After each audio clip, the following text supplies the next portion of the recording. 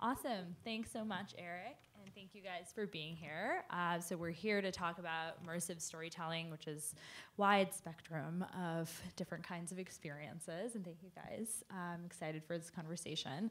Um, just curious to know how many of you in the audience have are working on immersive and or are interested in. Okay, a couple people. Um, yeah, it's interesting. In the last few years, like it's, it's, the numbers are, are growing. Um, initially, it was like, I don't know what that is, and and now it's encouraging to know um, how many people are kind of working in this space. So um, I think just to begin, um, just go through and if you can describe a little bit about your current role and what kinds of like VR, AR, um, other kinds of forms that you're currently working on. Hi, I'm Hayley Pappas. Thank you for having us. Um, so I'm chief content officer at RYOT, where um, you know we produce and finance a slate of both uh, traditional and immersive content. So what that breaks down into is a slate of feature documentaries, short documentaries on the traditional side, and then on the immersive side, we explore in all sorts of new emerging formats and technologies. So um, a host of virtual reality films, augmented reality films and experiences. Um, we play around a lot with live motion capture and are exploring a lot of what what does storytelling look like or what could storytelling look like in a new 5G world. Um, very happy to have had the pleasure of working with many people up on this stage, and I don't know if we want to show a teaser now. We have a little sizzle of some yeah, of our work we can uh, contextualize. Yeah, we can play the RYOT clip now.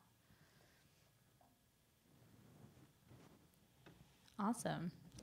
Yeah, so we can keep going, but um, you'll see there's obviously a host of different sort of storytelling types and formats in there. And uh, when I started in January of 2015 at the company, we were mostly focused on documentaries and news. Um, and in that spring, I produced our first VR piece. And now looking back, obviously, it's the most horrendous, rudimentary thing I've ever seen. It was on solitary confinement and just like one uh, photo essentially in 360. But um, we did a lot in 360 journalism in the beginning. We worked at the New York Times some, and now um, as the years have gone on, I think what's become really interesting to us is uh, exploring and experimenting what these new mediums can do for storytelling um, and how it can shape uh, how creators, writers, directors um, craft a narrative, and then also how we as an audience interact with them. Um, but yeah, I'm excited to be here and have this conversation. Cool. Jessica? I don't have a cool reel. uh, sadly. Um, but um, hi, I'm Jessica. Uh, I my company's called Vrai Pictures. Um, that's my logo. It's going to slowly fade in and out of various logos, but um, uh, that's my contribution to the assets that we have here today. Um, my company, I, I built it after I left Google because I felt it was very important to be very reactive in this space. Right now, there are all sorts of varying technologies that exist, and they're a bit siloed. And we all try to think that this is VR, and that this is AR, and this is AI, and this is whatever. And it, and they all eventually are working together towards some immersive something uh, that brings people into new realities, and it challenges the way that we exist, and we how we communicate as well. And what um, what I'm interested in artistically, and what my company wants to do and strive for, is not really think of it so much as the letters. even though that's how I got our name. Um, it's also about the truth of the thing. Like, what are we actually trying to do here? Um, and so uh, I can't announce any of my projects yet, but I very soon will be able to, which is very exciting. But um, uh, one's an AR uh, piece. Actually, there are two AR pieces. One's an audio only AR piece. One is a AR piece. There's a game. There's a VR series. Um, and so a lot of this stuff is incorporating different elements of different things and uh, seeing what we can make and how we can impact people. Yeah, it's awesome. Yeah. Um, Yasmin, you want to go ahead? Good afternoon, everybody. Um, so, uh, a little bit about um, I, am Yasmin Elayat, and I'm uh, one of the co-founders at Scatter. We're based here in Brooklyn, and um, I wanted to define what we when we're saying we're you know our work is an immersive media is volumetric filmmaking. What we mean by that is um, we're seeing a future where there's a collision of the film industry and the gaming industry, and we're trying to forge a future where um, you can actually leverage the power and flexibility of game engines, but and leverage your, you know, the current workflows and the craft and sensibility of filmmaking. And so how we do that is we're actually kind of a hybrid company. We um, we build tools. So my two partners build a tool that is for filmmakers to kind of forge their way into this space, and we're trying to make it easier and more accessible to be able to like translate how you film into and you know filmmaking into this um, immersive media space. And on the other end, and this is what I had is that, we make films, we make immersive content, leveraging the tool and um, uh, just trying to define what what this means. And the reason we say immersive media is we see everything uh, in this space as kind of almost the same language, VR, AR, and mixed reality. Um, for us, it's the same process, and it's it's just different output. So uh, we just say immersive media studio. Um, that being said, I'm going to show not a sizzle reel, but um, our, our project um, film called Zero Days, which is a documentary, uh, and it is an adaptation of the Alex Gibney film uh, from 2016. And our adaptation take, tells a story from the perspective of Stuxnet and tries to really uh, immerse you in, a, in an intangible world of code and, and cyber warfare. Um, so with that, maybe we can Yeah. show it.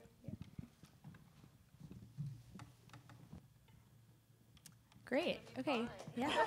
Sounds very fine. Great. So, I mean, I, I we want to get to you know talking about what stories work and how the storytelling process is you know different. Um, but I think if we can just if you can briefly describe a little bit about your transition to how you got moved into doing uh, these kinds of forms, uh, I think that's super helpful. I myself, my background is was in television news and in documentary and digital video, and I started doing 360 video uh, from a very like documentary storytelling perspective, and that's how I started working at the Times, um, and that's been kind of my journey. And I often say that I use a lot of those same principles, come from a very like journalistic, um, documentary uh, background, and when I'm in the field or on the ground, that I use those kinds of uh, you know processes even when filming. Um, so just curious to know a little bit about your backgrounds. Yeah. Um, so I first got into VR uh, before I joined RYOT. Actually, I um, worked with a dear friend and mentor, Rose Troche, on her first VR piece, Perspective, um, which was at Sundance in 20. I don't- 2015, 2016. I don't remember what years these were. Um, and uh, you know, I think from RYOT's perspective, we we started as a as a film and news company, right? And um, when we started, we were a news site that was connecting every story with an action. So we were really rooted in this place of how can we get our audiences, um, our viewers, our consumers, our participants closer to the story, um, in an attempt to move them, move them to do more than just consume that story, but engage with that story in one way or another. At the time when we first started, it was you know taking whatever action was associated with that aggregated piece of news, whether it was signing a petition or whatever, donating, signing up to volunteer. And so for us, technology had always been, and, and uh, the development of new technologies for storytelling had been really interesting. And how can we place our audiences closer, in, you know, more inside of the story to change their experience, that hopefully we can evoke more of a feeling or an emotion, drive them to act more so. So we'd always been super interested in virtual reality, and it wasn't until the spring of 2015 when the technology finally um, became accessible enough that we could take it out into the field with us. You know, we'd been we'd made documentaries for a while that were sort of um, in various different natural disasters or crises, um, and and the hardware just wasn't there. You know, we couldn't travel with what was a VR camera at the time, and so it wasn't until those first sort of rudimentary GoPro cameras came out that we were like, oh, this is something we can really take with us and can can change the way that we are um, breaking news, that we're telling stories, and that was sort of the the tipping point for us, right? Um, and and at that moment in time in 2015, I think we made the conscious choice. Um, we we could have taken one of two paths, right? We could have either focused on a few really high quality, high impact, you know, like 10 out of 10 projects. Um, or we could go really far and wide and be producing a larger scale and, and quantity of them. And I think we chose that approach. Um, our, our idea was uh, if we can get 360 journalism, into the hands of consumers, you know, just on their phones, moving it around, then perhaps we can start to penetrate the zeitgeist a bit and make it somewhat more accessible. Um, that was sort of our point of entry, and that led to us being acquired ultimately by Verizon and further stepping into obviously an interest in how do we consume stories on our mobile devices, how do we share stories on our mobile devices, tell stories on our mobile devices. Um, and since then, I would say we've pivoted our focus a little bit. Um, you know, away from that idea of 360 journalism and into more, sto- more so um, experimenting with the formats and technologies and uh, how can we continue to sort of stretch uh, stretch our capabilities. Um, so you know, we we launched just we built out a studio um, that has sort of live. Um, live motion capture capabilities, for instance, um, and and and we're playing more and more with uh, what do what does storytelling look like in these new mediums? It's so much unknown right? It's so much unknown until we create it or play around with it um, that i think that that's sort of where where we are now and, and a bit of how we got there. Um, and now for us it's just ultimately about how do we how do we continue to prove that this is a really viable format right? Yeah. Oh i just had engineers come up to me and say hey here's a thing we made with a bunch of GoPros. What do you think? And I was at Google. I was there. Yeah. there I technology in my career have been very, been arm in arm. Like I almost became a computer scientist and.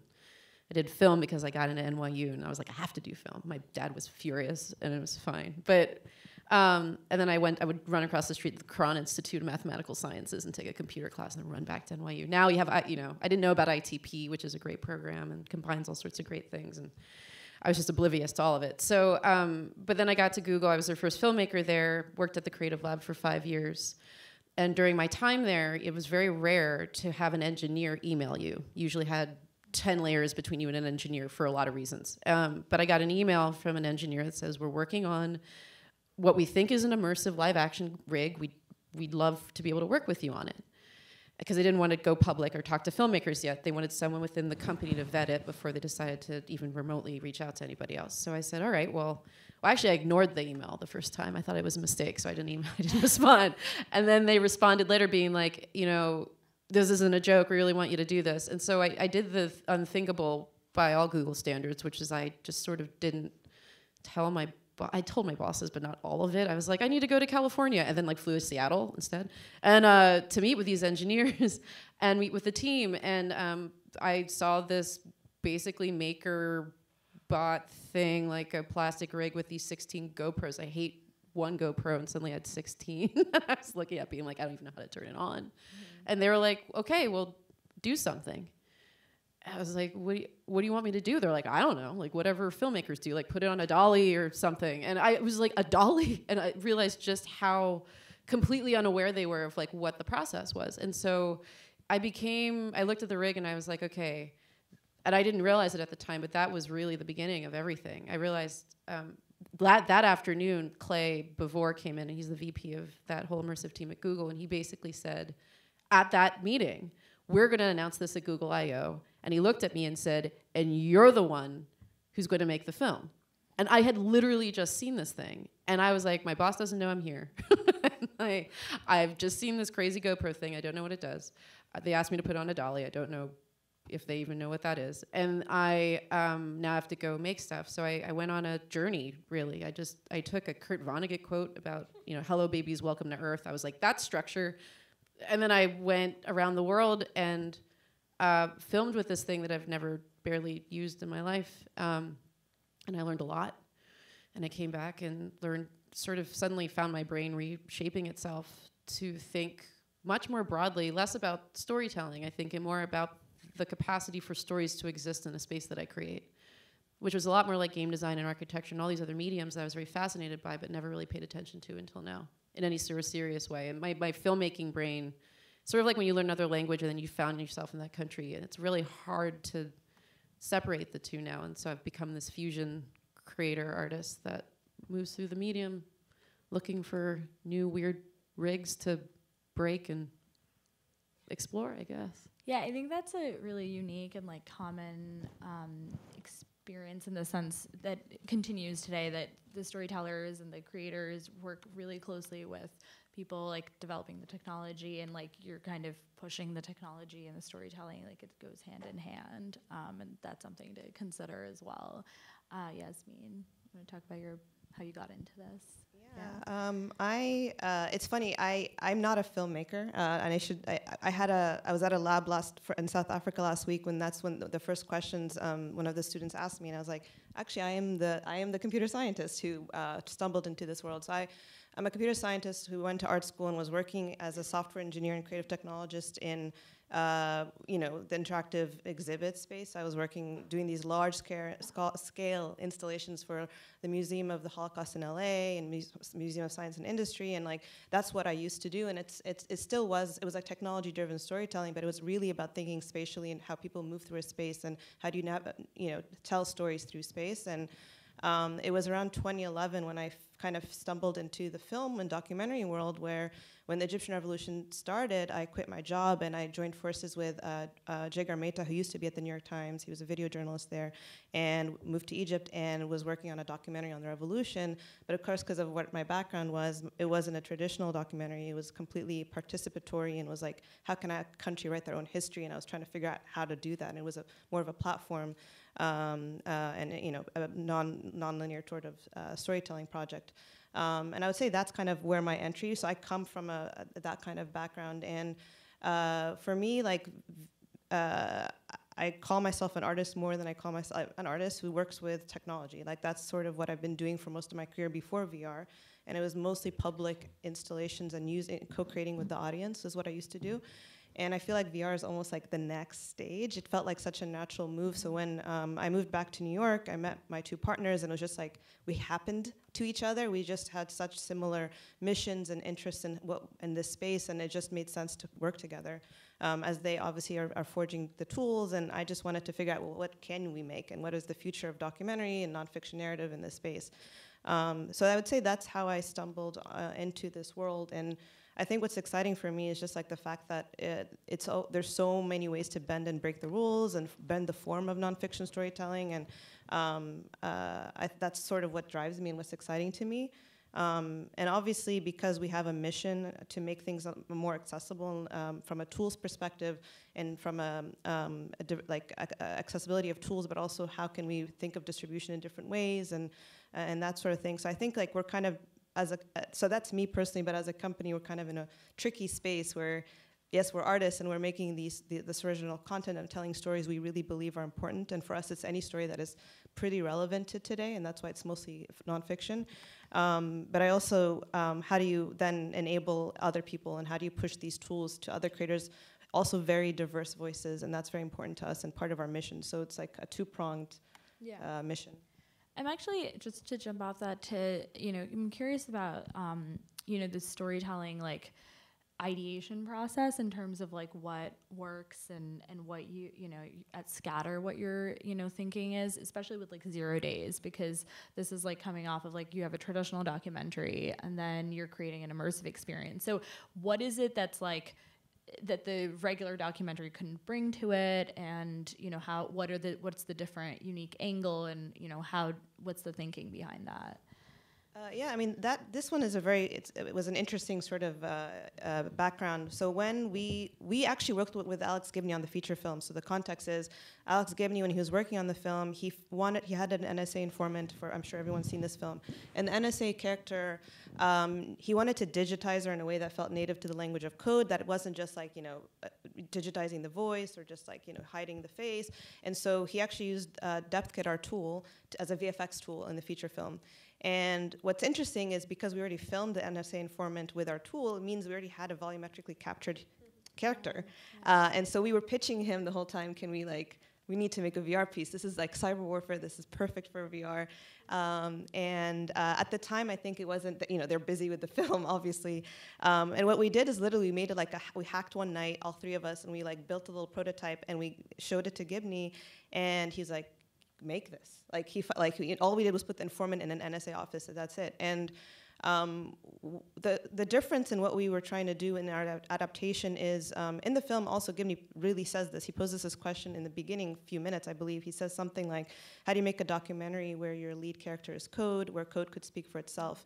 And for us, that was like the call to action. It's like the whole the whole adaptation was how do you completely tell the story and let code speak for itself. So Stuxnet is a character, um, the Iranian cyber army is a character, um, you know, are in, uh, as equal footing with the NSA informant. And so, um, and we used archival material uh, to tell, like basically what we wanted to do was create these worlds where you have the public tight-lipped government stance, official stance, which is like archival material, and like nobody will tell you actually what's happening or acknowledge their involvement in Stuxnet or, or cyber warfare um, or building these weapons. And then we create our, our digital insider world, and that's where you learn the real story from real NSA testimony and government officials who are willing to talk, ex-CIA, uh, CIA and NSA, and also from, um, what's it called, uh, cyber experts who literally you know, puzzle pieces through the, you know, in the code, they could figure out where, you know, trace it back to this, who it's, who it's, you know, who made it. Um, and so that's what we did. We just relied on a lot of the archival, but we retold it from the perspective of, of, of Stuxnet, let it, letting Stuxnet speak for itself. Yeah, I mean, these are really like visceral experiences, and you know, sometimes you know it's an opportunity to just like create a completely alternative inverse kind of perspective, um, and so.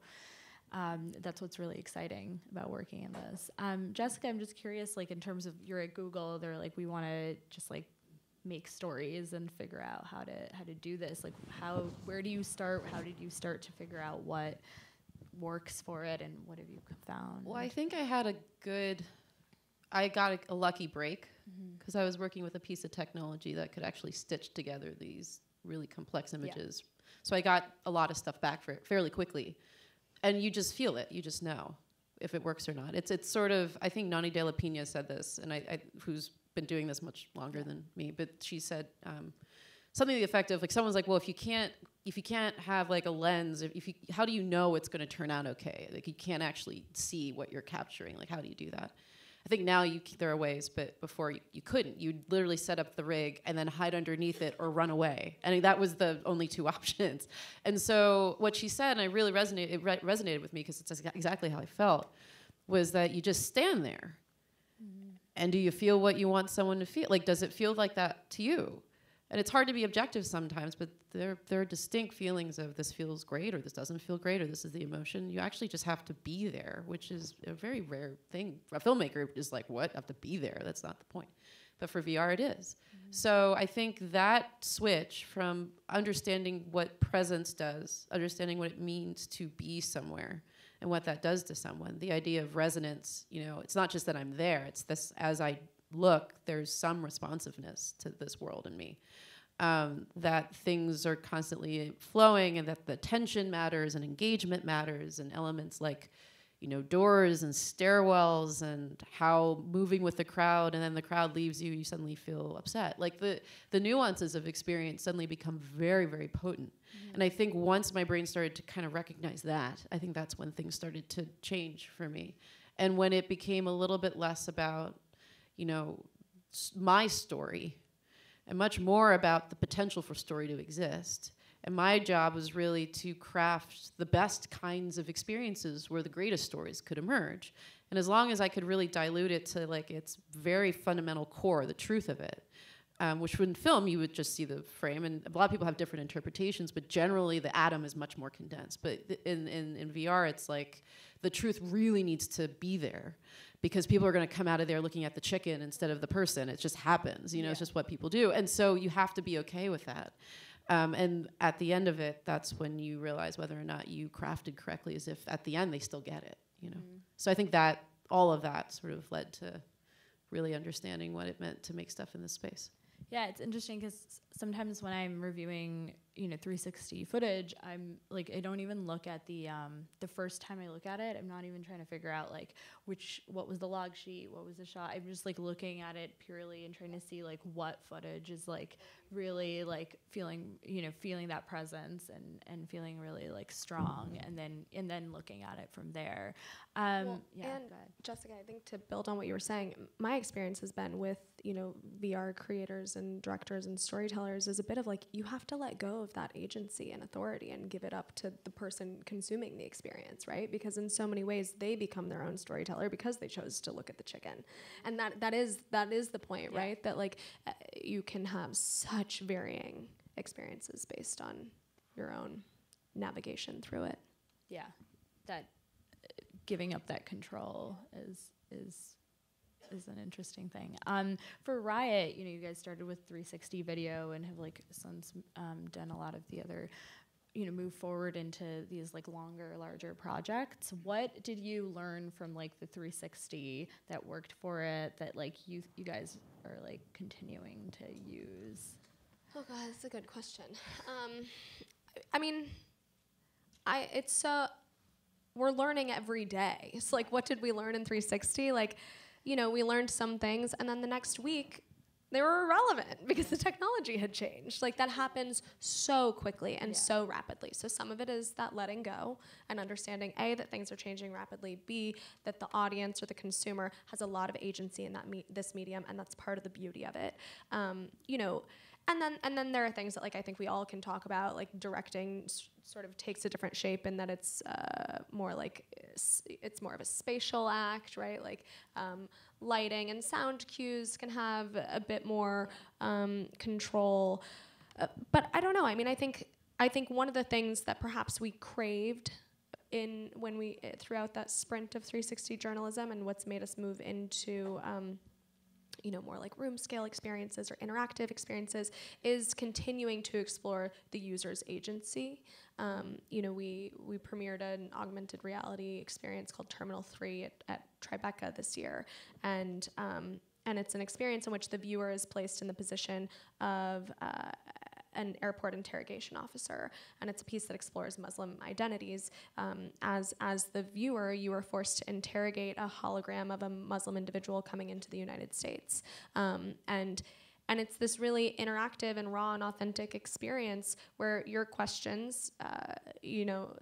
uh, Your questions prompt a variety of different answers, and you can take a variety of different paths. And then this individual's fate is ultimately up to you whether they're allowed access and entry or not. Um, and so, you know, I think to it's hard to say exactly just what we did learn from 360 that 360 sprint. I think what we learned is that we have to love the process of learning and continuing to iterate. Um, I think that every piece now um, we're constantly sort of you know looking back on and digesting like what worked there, what did we like, what do we want to stretch and play more with. Um, and what maybe isn't sitting that much. And it's what's interesting about that is like I feel like a lot of it is about unpacking why we do any of this stuff in the first place. Like why do we edit? Like people are like we need to edit. I'm like, but why? Yeah. Like we didn't just choose to edit because editing. Like we, you know, Needed to tell it's just yeah. I mean, it's like if you look at you know like look at Vertov. It's like he just did it because he's like I have all this footage. I want to do this, and he did it. And Eliza, his wife, did a lot of it, but he did it. You know, like and I think that that was the that was kind of that weird moment where for me especially it was it's it's the tension points that matter. It's like well why can't i do this the same way that i used to do it before? And it's usually at those tension points where the, the medium is actually like this is what i do. And it's like not so much like what it can do but what it what it seems like it can't but it's like it's not quite can't. It's more like it's just a different perspective and a different way of handling it so i think that unpacking that learning is actually really important because otherwise it's just an extremely frustrating experience um, and I think a lot of the stuff I've learned, especially in my craft, has been a lot about just being like, okay, I can't do this, obviously, in the way that I've been doing it. So, w- how else can I achieve that feeling in this medium through another means? Is there another way to do this? Or is that the tension there, meaning that I need to use this for something else entirely? I want to now just um, jump to uh, thinking a little bit about, um, you know, you, just uh, the project that you mentioned made me think of this, like the the perspectives that we choose to include in stories. And this is just like a you know larger issue in storytelling like whose stories get to be told what are the voices that are included. Um, but i think we have um, you know a unique opportunity here because you really when somebody is going into a you know very like VR experience you're, you're seeing it from a very specific perspective even if you are you know having that agency of which way to take it. Um, and so kind of thinking about like what have you guys thought about like you know what are is that something that like you know motivates you? What are some of like the unique kinds of perspectives of you know like for you know from journalism like i got into journalism because i was really interested interested in uh, you know giving in hearing voices from like vulnerable communities and marginalized groups. Um, and that's kind of what i've worked on even with vr so just kind of wondering what you guys um, think about that yeah, I'd lo- I mean, for me, this is something that's really key. Uh, uh, even back in, when I was talking about 18 Days in Egypt in 2011, I'm Egyptian, but I still felt like this is not my story.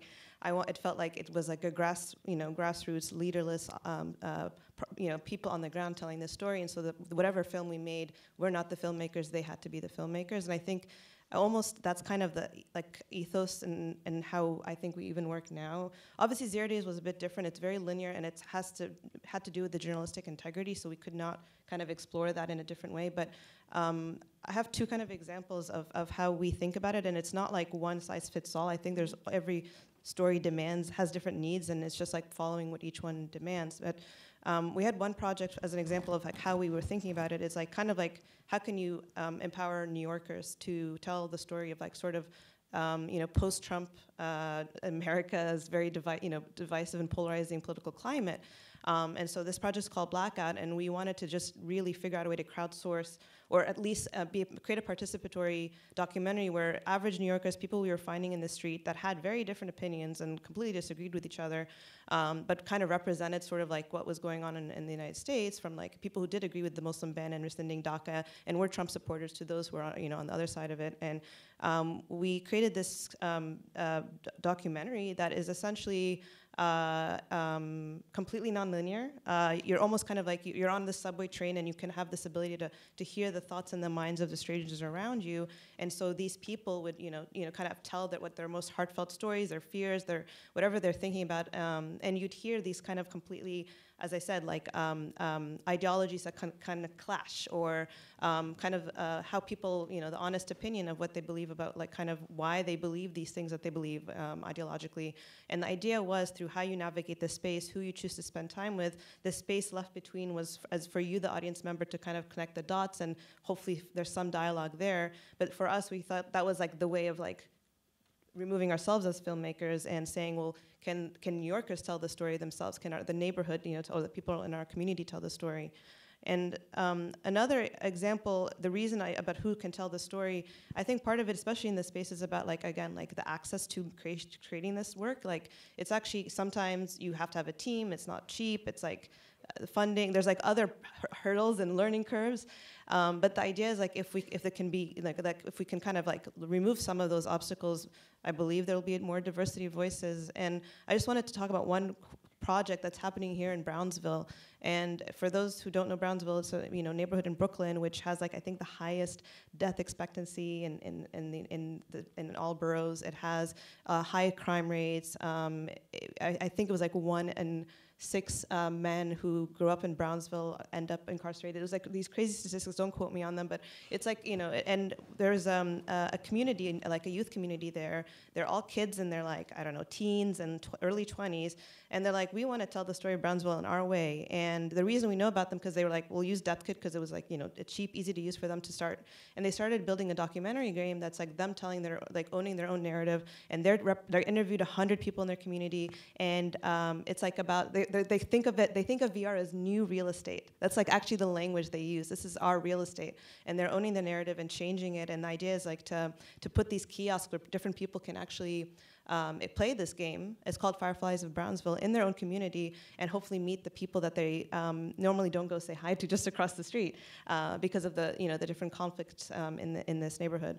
Um, I don't know if that, I, yeah. yeah, no, that's, it's a cool story it's great to hear these like specific ideas. I think, um, and want to you know get your you know your Hayley and Jessica your thoughts as well. But I also want to just like raise also this. Uh, access issue, um, and you know you can speak to that about like journalism, documentary, film, all of these industries are struggling with, you know, diversity and representation and like this is a new medium and you know we're working off of you know a mix of these offshoots and you know what are just another th- uh, question to keep in mind is like you know what are the ways that we can avoid perpetuating these problems or you know how are you like overcoming some of these challenges Yeah, no, I, I could not agree more. I mean, the hardware and technology is expensive, and who has it? You know what I mean? And, and schools don't even have art programs. Public schools don't even have art programs, nonetheless, like immersive technology programs. So, yes, it is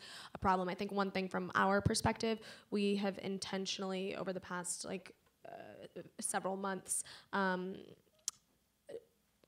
focused a decent amount of our funding onto sort of labs and incubators and programs um, with a variety of different institutions for just that to try to like bring in more creators from various different walks of life you know and um, and i think all some of that is also like inviting people from other from other industries who have yet to be exposed to this to this medium and these technologies and the capabilities. This I think it was this past weekend we did an incubator called Dev Lab with Kaleidoscope and Oculus. We recently launched a program with IFP here in New York. Like it, to me, it feels so so yes so important that we make all of this accessible, even just that we make the knowledge of it accessible. Um, and, and then the second part of that is the consumption of this content. Um, you know, it's not just the ability to create it, but also the ability to consume it or experience it.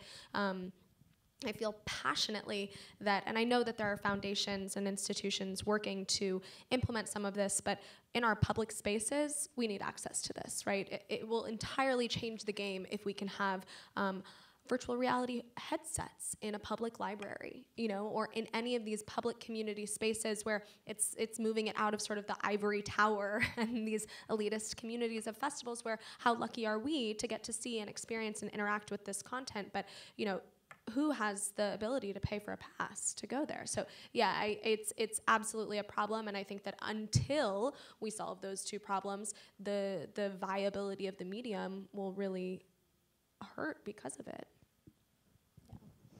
I mean, I also think there's, when we say access, there's access and there's accessibility, right? So a lot of the work that I've been doing lately is also thinking very much about accessibility, accessibility as well as access. Um, you know, growing up, I grew up in York, Pennsylvania. I don't know if anyone's from Pennsylvania, but I grew up in like kind of farm country, podunk, you know.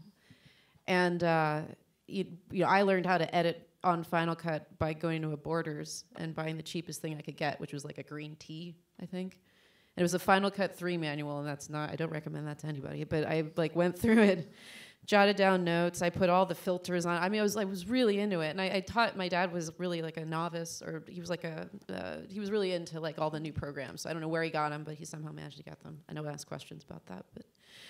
Um, and so I have a lot of, I, in my heart of hearts, I really do care about getting a lot of this stuff to the people who are usually the last people to get it or last people to, to experience it for one reason or another, uh, whether because they're in the middle of nowhere or um, or they're you know someone who's partially deaf and usually they have to wear some crazy contraption thing or maybe the experience is not for them. Like they go to these festivals and say like how, how can i do this? And yeah. I don't know um, one of the great things, you know, thinking about other new technologies, like thinking about haptics and how that could finally bridge that. Like uh, the last Yeah. piece I did at Google was uh, Beethoven's Fifth. I was trying to do this very large documentary project around Voyager's 40th anniversary and the Golden Record and bringing all that content to VR in some sort of capacity. And it was a great idea. I still believe in it. Uh, it fell apart for all sorts of reasons. But I got a couple of things through. The first was this Beethoven's Fifth piece. Um, I got SubPac, which is a company that usually makes these uh, haptic backpacks for video game folks. So like you put it, and you play World, World of Warcraft, and you can feel the dragon. I don't know, but the the idea is that you know you you put you bring that you you bring that to someone like Beethoven, who inadvertently was a composer for the deaf. Like his stuff is extremely bassy, and you just plug it in and you can feel it. And I found out from someone you know, during my process that Helen Keller had actually done that by putting her hand to the radio during uh, a broadcast of Beethoven's Ninth.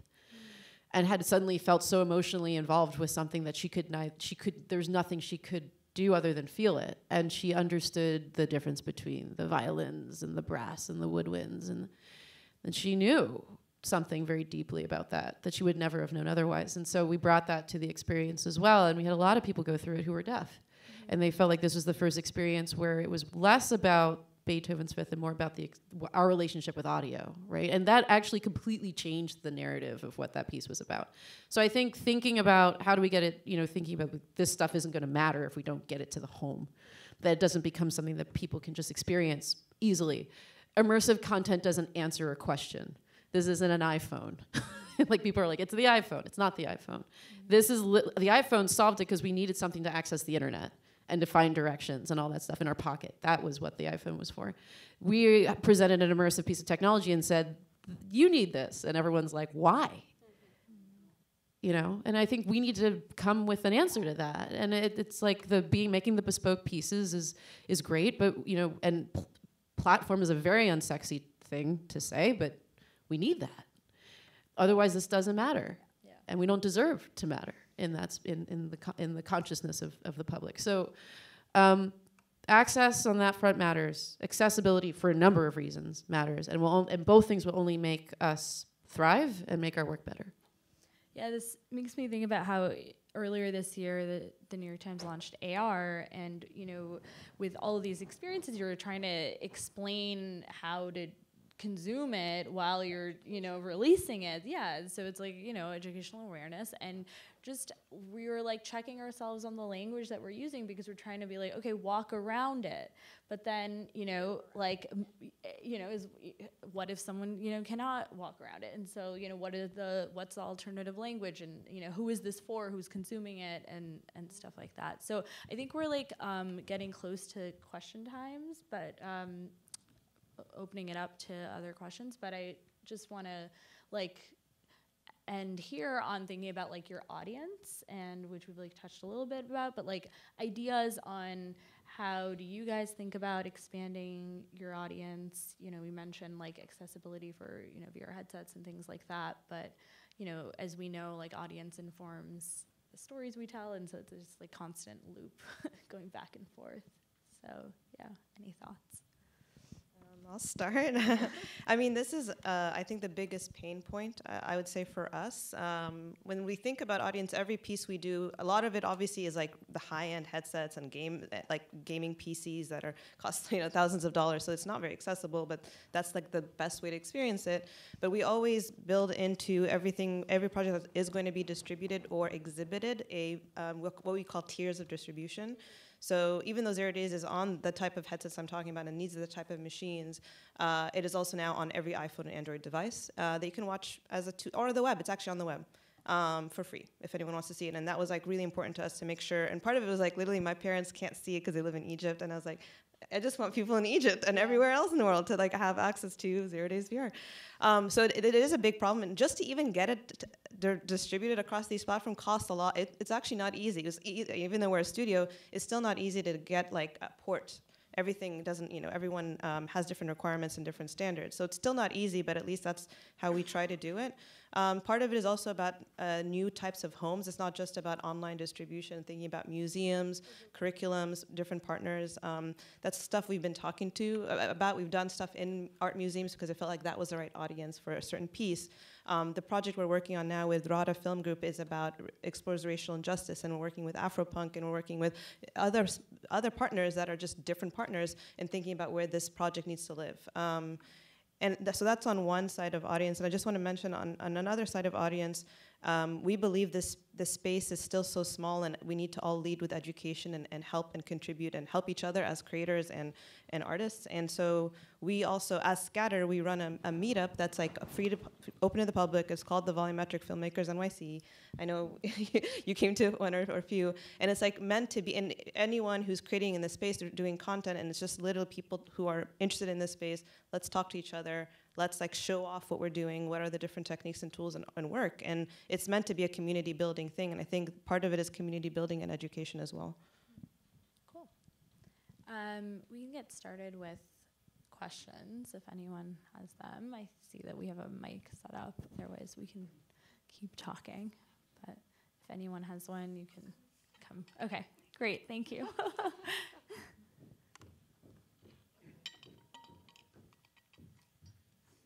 I'll just take up two quick questions. I'm intrigued that this is an all-girl panel, which is fantastic, in a space that sounds like it's very male-dominated. How representative are you of the industry you're in?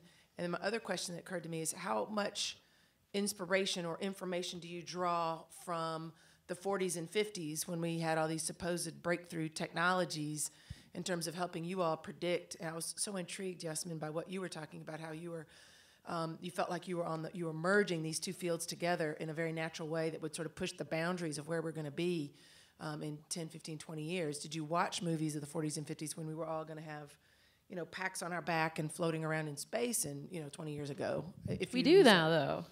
We did. Well, We one or two guys on. out in the, in Oh, the yeah, desert true. do, you know? Thanks. Thanks. On Jupiter somewhere, yeah.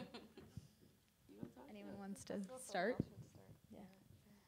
Yeah, um, I'll talk about the second question first, I guess. Um, I, I, d- I think that VR often gets, er, yeah, I'll just use VR here, um, compared as like, uh, you know, the next step from video. And I actually really don't feel that it is that at all. Um, I think that's like maybe a misconception or an oversimplification. To me, uh, I think we've barely scratched scratched the surface of the potential, like just barely. Um, and I think it feels more almost like literature. It may be an odd comparison, but I think that like when you you know when you read, um, you have the full space of your imagination to explore. And I think that with um, immersive storytelling and immersive formats. Um, y- you're given a whole world, right? You're not limited to a frame or a stage um, or any sort of dimension. Like it really unlocks a new a new way of, of consuming, and that's why I think we're just now uh, scratching the surface. I think we're actually I think we're actually being hurt by the um, by the conventions of storytelling that we know a little bit. I think that like we're all using, you know. Uh, film film ideologies or structures and like let's strip it all away let's start from scratch who knows what the hell we're doing. In terms of the, uh, I mean, I, the women um, question. I mean, I I get asked this a lot. I'm sure you guys do too. Um, encouragingly, I have met a lot of women working in VR. Um, I can't speak to like how or why. Maybe somebody else knows more about that. But especially in like VR and a lot of the media organizations, there are a lot of women leading that as well. So um, that's very encouraging. Yeah, there's a lot. There's there's definitely a lot. Um, yeah. and it feels like Whether or not they get put on panels or be, Yeah, like I mean yeah. I don't but know, it also but feels like yeah. there's a conscious effort to like preserve that. I, I feel like there are a good number of organization, you know, women in VR and and people taking an initiative around. I mean, I hate. I'm like I'm like the worst woman in VR. Like I'm like the one that doesn't actually like to go to the women in VR things because I'm just like, why does it matter? Which is a terrible thing because we should be very supportive of each other. And I, I, I am. I feel like I am. But like, I never. It's like it's just really difficult to have that conversation because it's like, but I just make stuff. Mm. And I think that we need to, as creators that are, are in the big, in the forefront of the space, make sure that we listen to everybody and we let everybody make stuff, right? And I think it's tricky to be like, well, I mean, I think we should be women that make, but we should be makers first. And, and the women, the, the as, that aspect to me, although it's important, is not like the front runner in my mind in, in doing a lot of the work that I do. So.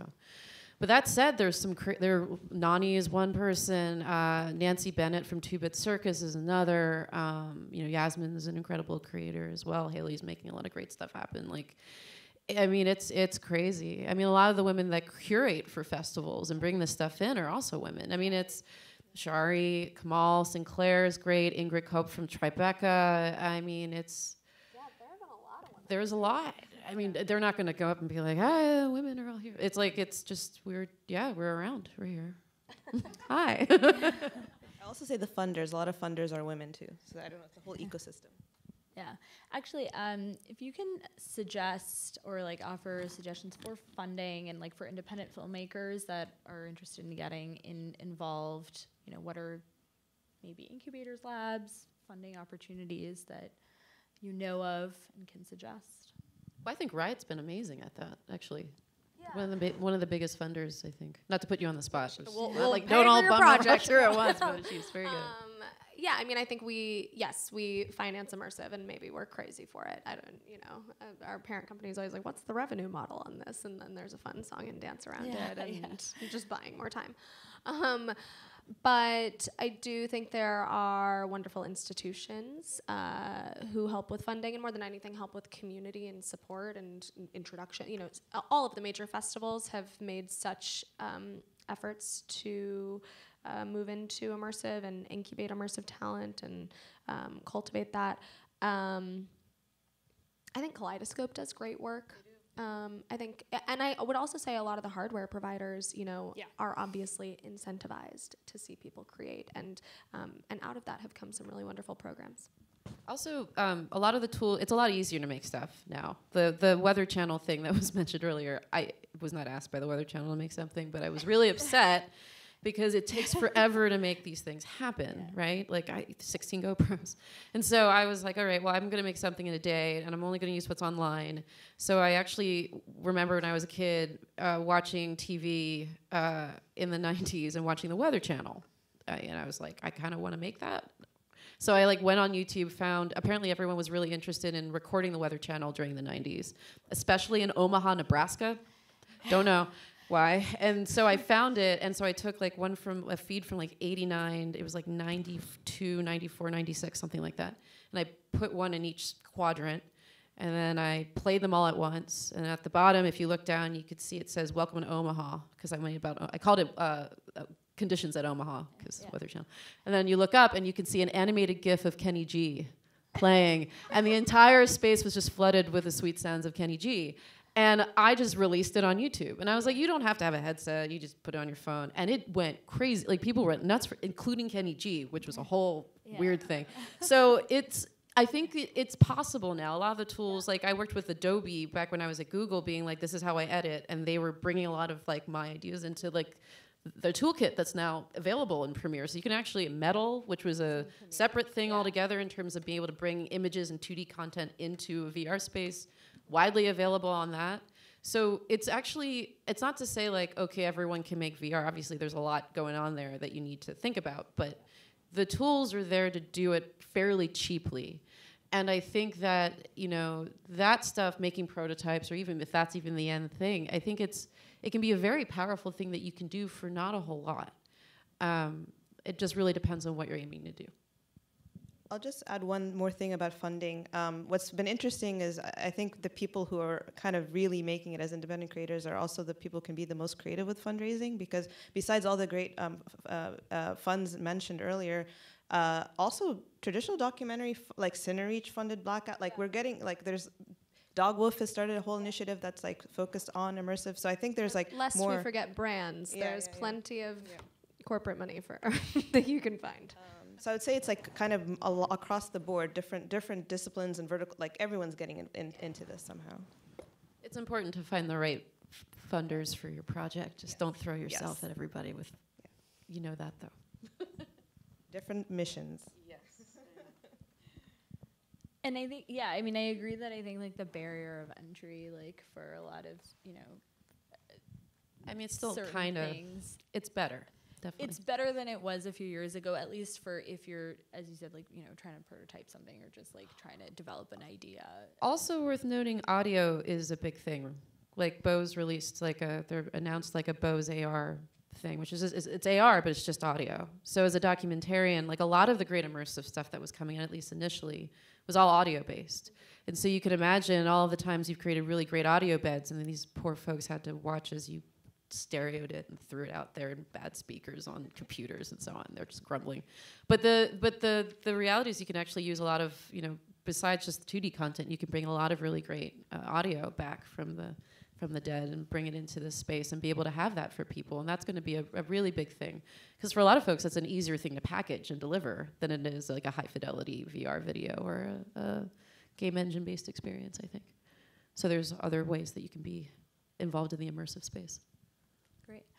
What are, um, maybe, I think we have time for just like one more thing, one more question, but, um, just like in terms of thinking about the future, um, what if you can name like one thing that to start with uh, that you wish would like get easier that would become like would really change your your workflow.